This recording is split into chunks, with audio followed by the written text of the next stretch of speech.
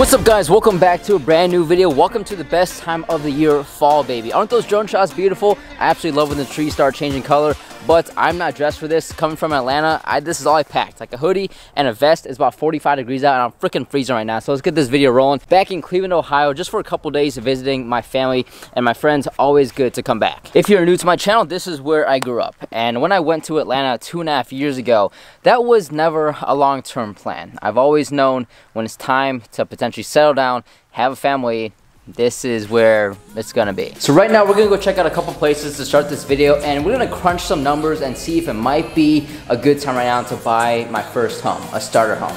I don't know, let's go check out some homes in the area in case I were to come back in the near future. Let's go.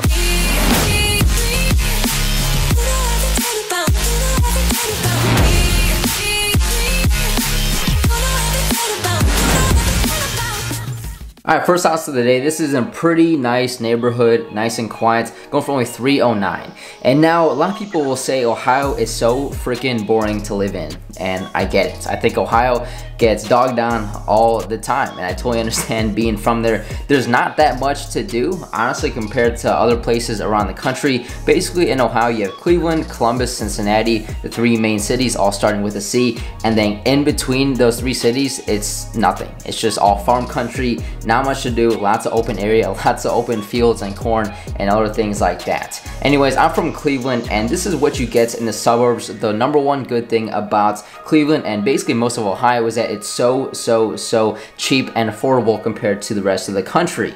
As you can see here, this house is about 2,400 square feet, four bedrooms, I can't remember, two and a half or three bathrooms. Anything in Atlanta like this size, 20 minutes from downtown is at least $500,000 in today's markets, if not even more. So the fact that something like this is still only 309 is, is really, really nice. And you can see it, it looks pretty cool inside. Everything is painted. Most of the things are updated. It truly is a pretty nice house and you saw the big backyard as well. If I were to buy something, I think my number one priority that I would want is a big fenced in backyard. Going from a one bedroom apartment, if I'm gonna upgrade, if I'm gonna put down a lot of money to invest invest in something, the number one thing I want is a big backyard on top of a, a nice bathroom like that as well. So good overall first house. I think uh, this is something I, I could definitely consider if I were to move back one day.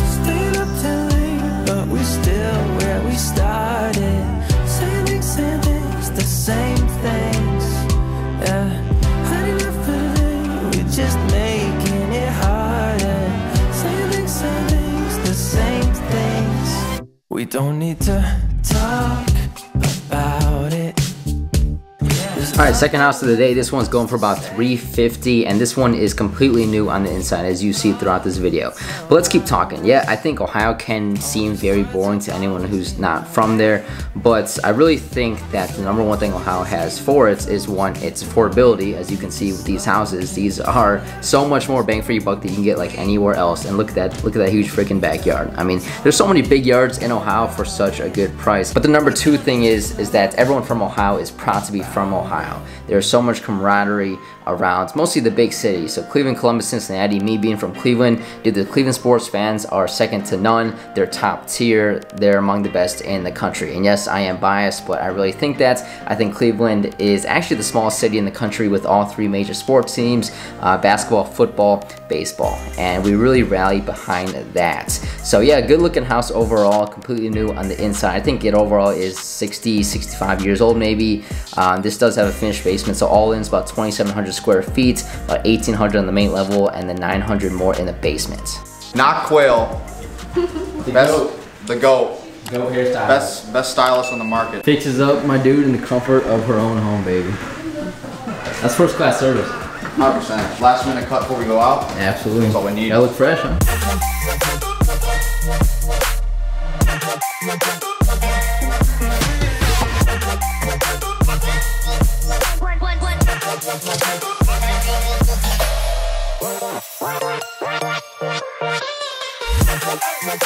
Three, two, one, go! Get him up!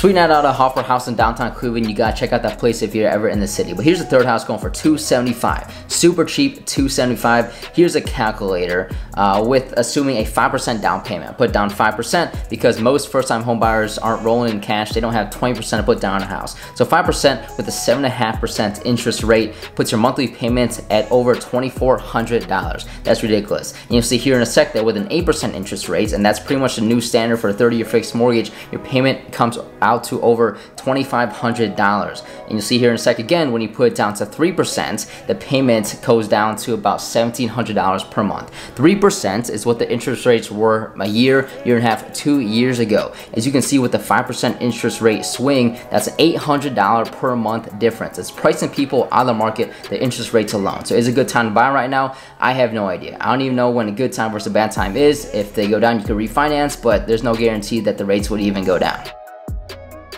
Bye, Dana. Good luck back in college. Any last words? Any final words? Put you on the spot. Um, stay in school. Stay in school, kids. You better stay in school. Bye, Emily. See you soon. Any last words? No boyfriend. No. No boyfriend. That's right. Liam. Liam, say bye. Say bye. You guys remember Liam? If you're an OG, you've been following for a year, two or three, this dude is growing up so fast. This is my little cousin Liam. He's already six years old. First time you're on this channel, you're like two or three. You know that? Remember that? And four. And four. Yeah, and five and six, right? Yeah.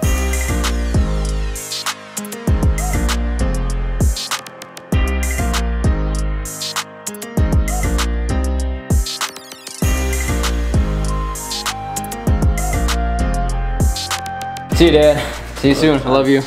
Any last words? Thanks for coming. Absolutely. Any last words for the camera? Four on the floor and no hands? See that? Four on the floor and no hands. And no hands. It's his rule when I'm with a girl. That's right. Four feet on the floor and no, no hands. hands. Yep. That's something I'm gonna tell my son one day too. Okay. All right. See you soon. Did it help? Yeah, not really.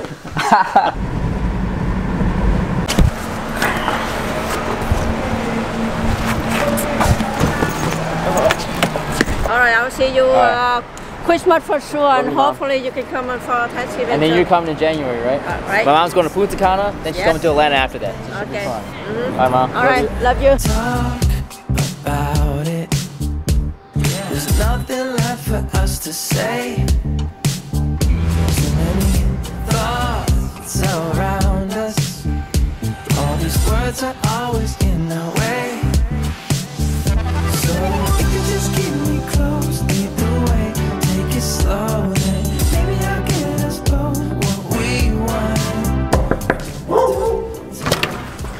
Buddy.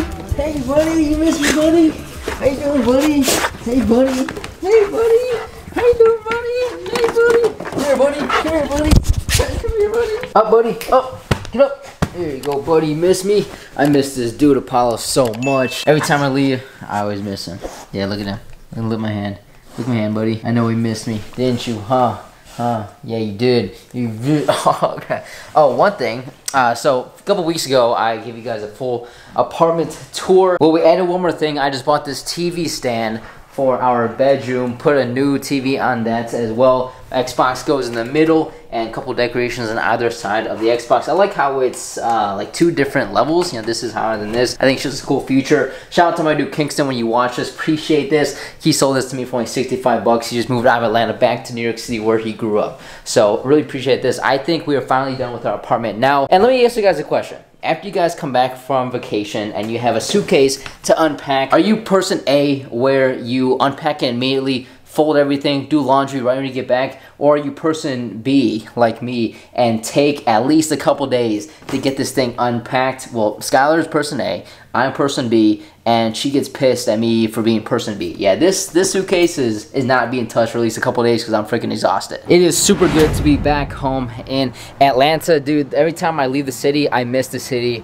so much, and I don't know when I'm gonna get tired of the city. There's just so much to do here. There's so many places to go. There's so many cool places to eat. The only place to eat in the suburbs is like Bob Evans, but it's it's really good to be back here in Atlanta. In the meantime, I really hope you enjoyed another video today. Quick trip back home for me. It's always a pleasure seeing my family and my friends. Since ever since I moved here two and a half years ago, I miss them like every single day. So really hope you enjoyed the video today. If you did, make sure you drop me a thumbs up. I really appreciate it. Also subscribe to my channel if you have not yet because I drop a new video every single Monday that you don't want to miss. See you next Monday.